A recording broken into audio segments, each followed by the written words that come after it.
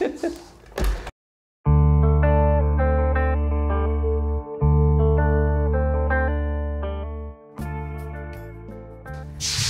morning. Now I forgot my chalk. Oh.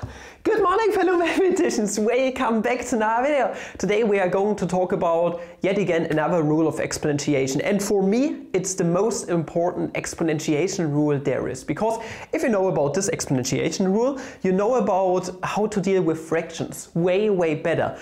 Also you are going to be able to solve um, square root equations, for example, Rudy boys in some way. This is something that you can do if you know about this rule. And what we are going to do today is we are going to raise exponentials, well, to a power.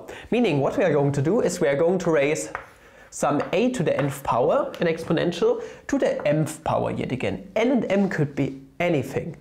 0, 1, negative 112, etc., pi, whatsoever. They could be everything. We are going to go ahead and use examples yet again to derive this rule. It's going to be really easy, just like with the last one. So, an example. For example, if we take um, 7 at first to the third power and then squared. This is something that we are going to do. Now we are going to treat the 7 cubed, the 7 to the third power, as our new base of this exponential. Meaning we are just going to raise this x to the second power. This is like x squared, meaning by the verbal definition this is 7 cubed multiplied with itself two times. Meaning this is 7 cubed times 7 cubed. Now you could go ahead and make use of the first exponentiation rule that we have derived because we are multiplying exponentials with the same base together they have the same exponent. It's, it's really not a big deal. They can have the same exponent and you would arrive at the same result. But I would like to write everything out at first, just so my point becomes a bit more clear. So 7 cubed is by definition 7 multiplied with itself 3 times. So 7 times 7 times 7 times, okay, big times. And well, 7 cubed is yet again 7 times 7 times 7. All right, now we can go ahead and count. Well, how many sevens do we have? One, two, three. I'm looking into the camera there. Four, five, six. Exactly. That was weird, navigating through my uh, little mirror there, you could say. So we have six times seven. Seven multiplied with itself six times. Meaning, by the verbal definition, this is nothing but seven to the sixth, sixth power raised to the power of six. Now, once again, we can immediately see something. We had 7 cubed as the base, meaning a to the nth power was the base. But the subbase of this thing basically has been 7 or a. Now, just like with the last exponentiation rule, we basically preserved our main base that we had, a in some way. We are going to get it out on the other side yet again. So what we can conclude is that a is going to stay where it is. Nothing's going to change there. Why would it in the first place, right? So that's a cool thing. First part done. Now we only need to ask ourselves how 3 and 2 are connected such that we can get 6 out of it. Well, 3 and 2 are actually just the prime factorization of 6. They make up the prime factorization. 3 times 2 is nothing but 6, meaning we can conclude that 7 cubed and then squared is nothing but 7 to the 2 times 3 power or 3 times 2 power. Multiplication commutes, we are going to talk about this in a second. Meaning, if we just compare um, exponents basically. We have that our n was nothing but 3, it's going to be here, n, and m has been nothing but 2, n times m.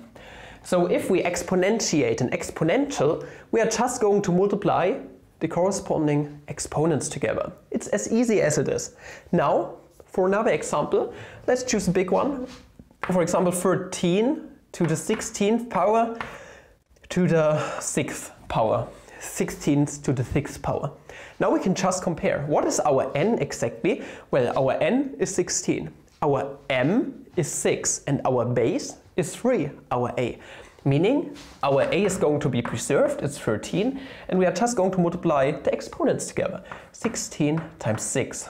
Well, 16 times 6 is going to be, so 5 times 16, 80. So, um, yeah, 96.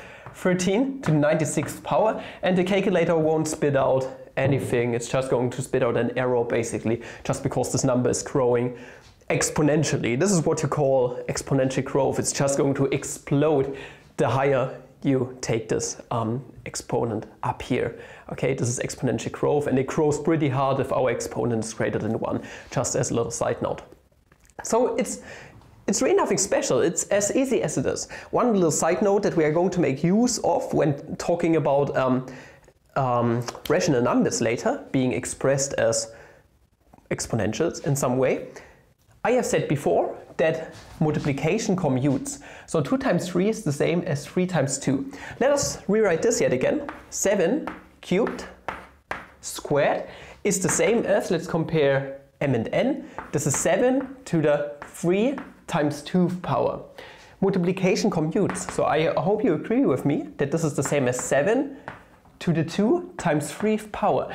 And now we basically just interchanged the places of n and m. So this is just 7 squared raised to the third power. And this is really important. That's a really important relationship that since multiplication commutes, we can just basically interchange those exponents in some way. Keep this in mind, it's going to be important later in the game. Also, one more little rule that you can derive from it is if you have, for example, 3 to the zeroth power, and then, for example, squared. Now, every a raised to the zeroth power, except for a being equal to 0, is going to evaluate to exactly 1. And then squared. So 1 to the second power, and 1 times 1 is simply 1. Meaning overall does make perfect sense because this expression is nothing but 3 to the 0 times 2 power. If you don't have two apples, then you don't have two apples. It's just 3 to the 0th power. It's 1. And this holds for each and every a down here, not equal to 0. And this basically concludes this video. Hope you enjoyed this video. If you did, please like, subscribe, recommend channel for like really important stuff. Going to be really extremely important later in the game. So please keep this in mind, especially for the fraction stuff. Yes, check out the main channel, support the channel on Patreon, whatsoever. Subscribe to this channel and the main channel, and also buy those t-shirts I created. And up until next video, I'm wishing you guys a flammable day. Ciao!